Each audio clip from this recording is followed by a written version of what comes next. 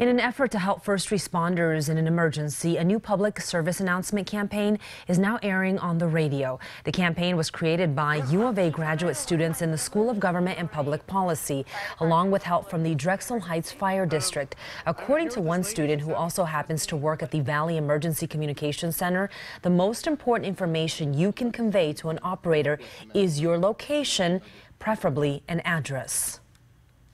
That's the key piece of information that we need. Um, when they call, we need to know where to send the responders. Uh, the faster we get that information, the faster we can process the call and dispatch the unit.